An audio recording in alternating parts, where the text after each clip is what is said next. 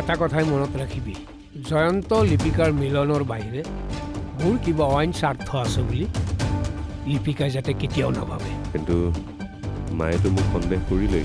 তই যি কৰ কৰ খালি তোৰ লগতে তোৰ ঘৰৰ মানুহখিনি সুখলৈও চাবি মোৰ পৰিয়ালে মোৰ সুখৰ কথা নাভাবিলে।